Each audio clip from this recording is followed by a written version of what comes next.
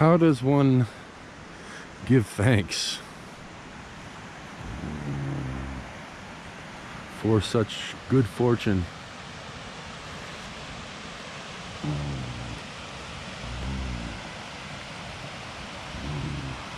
Somehow I've managed to get back out.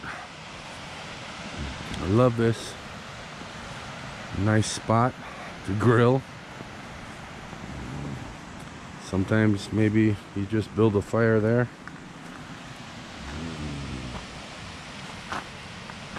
Amazing grace. Amazing.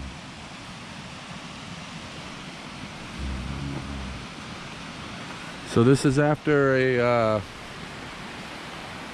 thousand foot hike up to Schwarze Alps. Uh,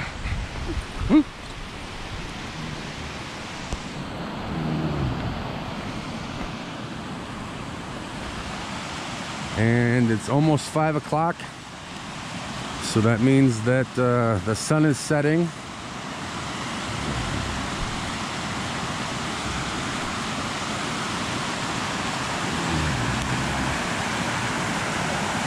I got about a two mile walk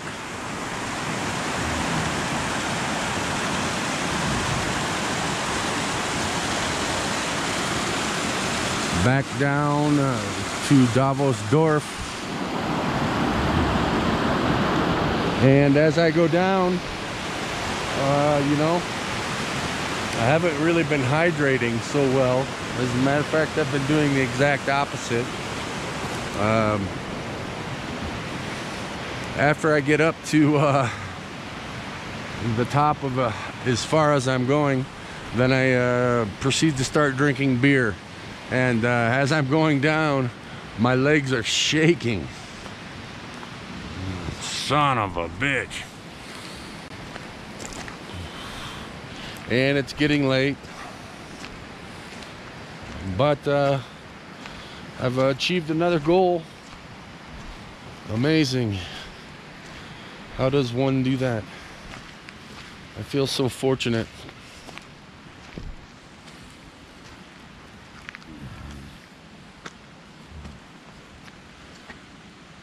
Davos Dorf.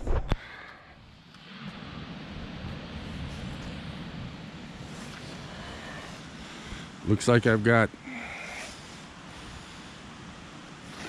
plenty of paths to pick from. It's been a long, long road. Unbelievable.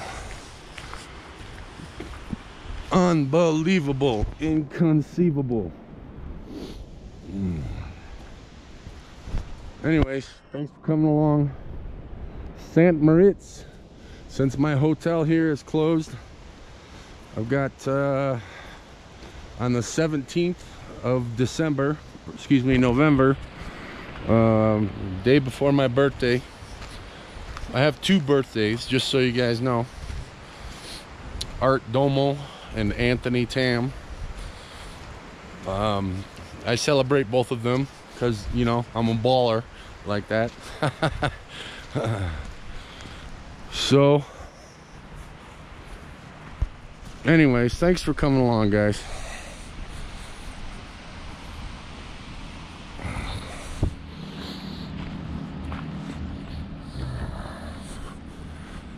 That looks treacherous.